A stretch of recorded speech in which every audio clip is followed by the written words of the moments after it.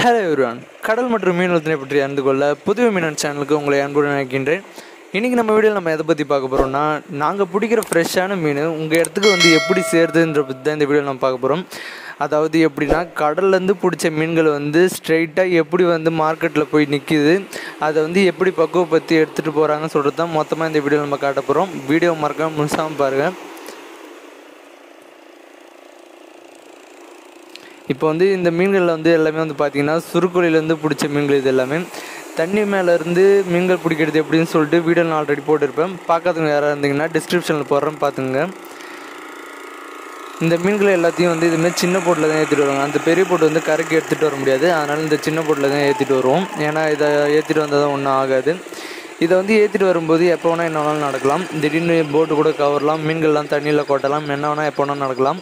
இப்போ வந்து சேஃபாக லேண்ட் ஆகிடுச்சு ஒரு பிரச்சனையுமே இல்லை. இதேமாதிரி வந்து பார்த்திங்கன்னா ஒரு நாலஞ்சு போட்டுக்கிட்ட இப்படி தான் மொத்தமாக மீன் பிடிச்சிட்டு வந்தாங்க.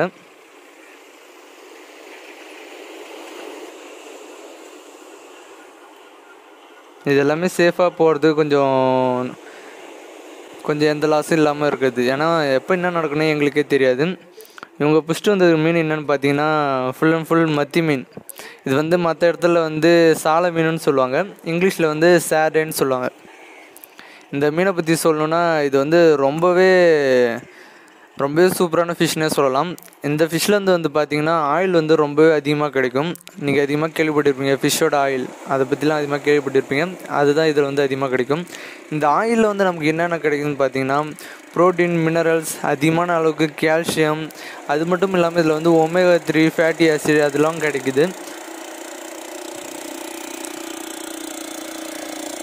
இந்த மீனோட விலை எவ்வளோக்குன்னு பார்த்தீங்கன்னா ஒரு பாக்ஸே வந்து பார்த்தீங்கன்னா முன்ன அதாவது ஒரு ஒரு வருஷம் ரெண்டு வருஷத்துக்கு முன்னாடிலாம் ஒரு ரெண்டாயிரம் மூணாயிரம் அந்த அளவுக்கு ரேட்டாக இருந்துச்சு.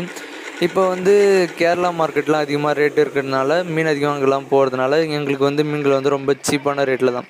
அதாவது பாக்ஸ் வந்து வெறும் three hundred four hundred five hundred இந்த அளவுக்கு ரேட்டில் தான் எடுக்க எடுக்கிறாங்க. இதனால் எங்களுக்கு வந்து லாபம்னு பார்த்தா அந்தளவுக்கு எதுவும் பெருசாக கிடைக்காது. ஒரு ஆளுக்கு வந்து பார்த்திங்கன்னா ஒரு டூ ஹண்ட்ரட் த்ரீ ஹண்ட்ரட் தான் கிடைக்கும். மேக்ஸிமம் பார்த்தா. இதுவோ வெளியில் கேரளா பக்கம்லாம் மார்க்கெட் வந்து ரொம்ப டவுனாக இருந்துச்சுன்னா எல்லாமே இங்கே தான் வந்து எடுப்பாங்க. அப்போ வந்து எங்களுக்கு வந்து ஒரு இரநூறுவா முந்நூறுரூவா கிடைக்கிறது வந்து ஒரு ரெண்டாயிரம் மூணாயிரம் அதுமாரி கிடைக்கிற மாரி இருக்கும் எங்களுக்கு எப்பயுமே. பாருங்கள் இது ஃபுல்லாகவே வந்து பார்த்திங்கன்னா சாரின் ஃபிஷ் தான் மத்தி மீன் தான். இது எல்லாமே வந்து ஸ்ட்ரைட்டாக இங்கேருந்து எப்படி நாங்கள் அனுப்புகிறோம் இப்போ வந்து நாங்கள் கடலில் பிடிச்ச மீனை பிடிச்ச ஒரு அரை மணி நேரம் ஒரு மணி நேரத்துலேயே அங்கேருந்து எடுத்துகிட்டு வந்துடுவோம் அங்கேருந்து எடுத்துகிட்டு வரதுக்குள்ளே மீன் வந்து எந்த ஒரு கெட்டு போகாமல் அப்படியே தான் நல்லா தான் இருக்கும். மீன் வந்து எப்படியும் ஒரு அஞ்சு மணி நேரம் ஆறு மணி நேரம் நல்லாவே இருக்கும் தாங்கும் அதுக்கு மேலே வச்சுருந்தா தான் மீன் வீணாயிடும். நாங்கள் வந்து எப்பயுமே சீக்கிரமாக டக்குன்னு எடுத்துகிட்டு வந்துடுவோம் ஏன்னா பிடிக்கிறத விட அது வேகமாக எடுத்துகிட்டு வரதுல தான் நாங்கள் கவனம் அதிகமாக பார்ப்போம். மீன் வீணாக போயிடுச்சுன்னா மீனே வாங்க மாட்டாங்க அதனால். இப்போ வந்து இவ்வளோ மீனை நாங்கள் வந்து பிடிச்சிட்டு வந்துடுவோம் இப்போ இந்த மீன்கள் எல்லாத்தையுமே வந்து எப்படி பக்குவப்படுத்தி எடுத்துகிட்டு போகிறாங்கன்னு தான் பார்க்க போகிறோம் பாருங்கள் இந்த போட்டு ஃபுல்லாக மீனாக இருக்குது இந்த போட்டு வந்து வெறும் போட்டை தான் நீங்கள் அதிகமாக பார்த்துருப்பீங்க. இல்லை இந்த போட்டில் ஏதோ வலை வச்சு தான் பார்த்துருப்பேன். இந்த போட்டில் இருக்க இடம் ஃபுல்லாக வெறும் மத்தி மீன் தான் எடுத்து வச்சுருவோம் பாருங்கள் இந்த மீன் தான் மத்தி மீன். இதை பார்க்காதவங்க யாருமே வந்துருக்க மாட்டீங்க. ஏன்னா அவ்வளோ ஃபேமஸான மீன் இது.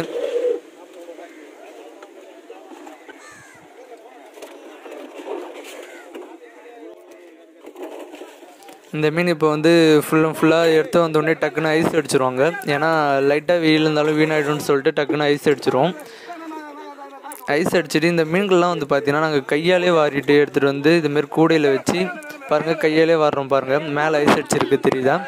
இதை வந்து நாங்கள் கையாலே வாரி ஏன்னா வேறு மெட்டல் அதுமாரி எதாவது வாரினா மீன் வந்து டேமேஜ் ஆகிடும் அப்புறம் எடுத்துகிட்டு இது வந்து ரொம்ப தூரம் போகணும். இதுமாரி கேரளா ஆந்திரா நிறைய இடத்துக்கு போக வேண்டியது இருக்குது அதனால் ரொம்ப தூரம் போகிறதுனால மீன் வீணாக ஆகிடக்கூடாது சொல்லிட்டு நாங்கள் எப்பயுமே கையால் தான் தருவோம். நீங்கள் வந்து மீன்கள் வந்து டேமேஜ் ஆகிடும்னு சொல்லிட்டு நீங்கள் இங்கேருந்து எடுத்துகிட்டு போகும்போது யோசிப்பீங்க. அதெல்லாம் ஒன்றுமே ஆகாது. இங்கேருந்து நாங்கள் பக்குவப்படுத்தி தான் எடுத்துகிட்டு போவோமே.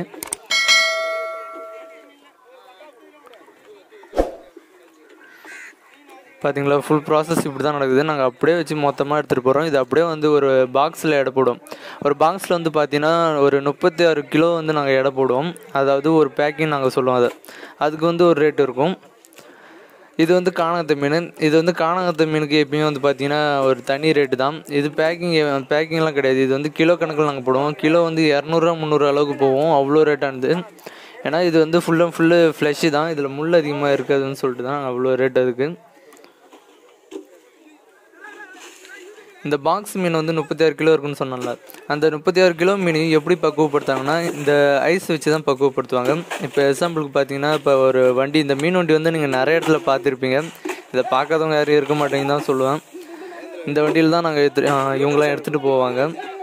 இதில் வந்து எப்படியும் ஒரு நூறு பாக்ஸு நூற்றி நூற்றி இருபது நூற்றி முப்பது பாக்ஸ் கிட்ட எடுத்துகிட்டு போவாங்க ஒரே வண்டியிலே.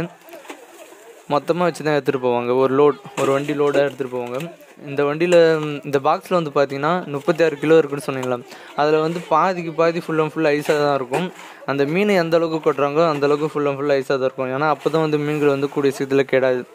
அதேமாரி அந்த வண்டியில் வந்து பார்த்தீங்கன்னா ஃபுல் அண்ட் ஃபுல் மெட்டலிக் கோட்டிங்காக இருக்கிறதுனால அந்த ஐஸ் வந்து அவ்வளோ சீக்கிரத்தில் வந்து கரையாது. அது வந்து அப்படியே தான் இருக்கும். ஒரு ரெண்டு நாளைக்கு மூணு நாளைக்கு அப்படியே தான் இருக்கும். உங்கள் கைக்கு வந்து சேர்ற வரைக்கும் ஃப்ரெஷ்ஷாக தான் இருக்கும் மீன் அப்படியே. இப்போ இந்த மா இந்த எடுத்துகிட்டு போகிற மீன்கள்லாம் வந்து எங்கே எடுத்துகிட்டு போவோம்னா கரெக்டாக கேரளா மார்க்கெட்டு ஆந்திரா மார்க்கெட்டு கோவா இந்தியாவில் இருக்க பெரிய பெரிய மார்க்கெட்டு எல்லா மார்க்கெட்டும் எடுத்துகிட்டு போவாங்க. அந்த மார்க்கெட்டில் எடுத்துகிட்டு போயிட்டு என்ன பண்ணுவாங்கன்னா ஒரு ஒரு மார்க்கெட் இருந்ததுன்னா நிறையா இடத்துல போயிட்டு விற்பாங்கள்ல அதேமாரி ஒரு ஒரு மார்க்கெட்லேயும் போயிட்டு ரெண்டு ரெண்டு பாக்ஸ் ரெண்டு ரெண்டு பாக்ஸ் அதேமாரி சொல்லிட்டு போட்டுருவாங்க. அப்படி போடும்போது ஒரு ஒரு இடத்துலையும் வந்து கம்மியாக மொத்தமாகவும் எடுப்பாங்க கம்மியாகவும் எடுப்பாங்க. அதுலேருந்து தான் உங்களுக்கு எல்லாத்துக்குமே வந்து டிஸ்ட்ரிபியூட் ஆகுதுன்னு சொல்லுவோம். பார்த்தீங்களா இப்படி தான் வந்து பக்குவப்படுத்துகிறாங்க இது பக்குவமாக அழகாக எடுத்துகிட்டு போயிடுவாங்க. இங்கேருந்து ஃபுல் அண்ட் ஃபுல்லாக ஐஸ் அடிச்சு இது ஃபுல்லாகவே ஒரு வண்டியில் ஏற பாக்ஸ் தான்.